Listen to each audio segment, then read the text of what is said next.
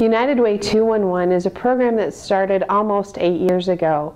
Today I want to share a story with you that happened recently. During a regular day in the 211 call center, an individual who is elderly and lives in a rural community called our 211 center and started speaking with an information and referral specialist. That specialist shared that the resources that the individual needed and then asked the individual if she would be willing to participate in a follow-up call in a couple of days. The individual agreed and she took down some additional information so that the follow-up call could occur.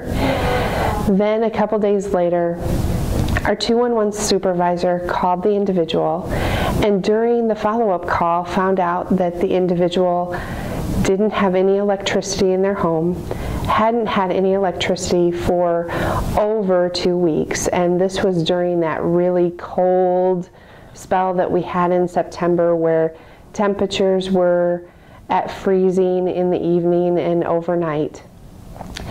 So our 211 supervisor asked if that if she could call um, an agency on behalf of that individual to see if they could work on getting her electricity and her furnace operational again.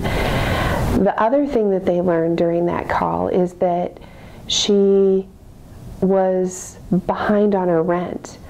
So again, our 211 supervisor asked if she could make a couple of calls on behalf of the individual, and again, she said yes. Immediately, our 211 supervisor went to work.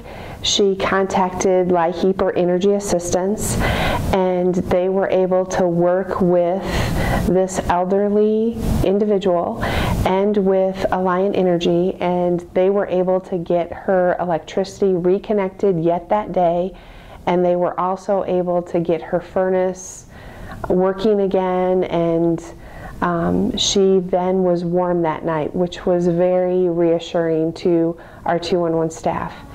They also got her connected with a program called HPRP, which is about rapid rehousing and rent assistance.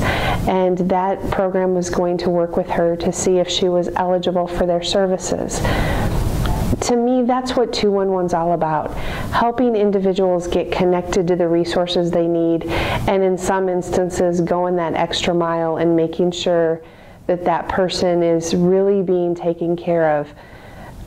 So call 211 and get connected and get the answers you need.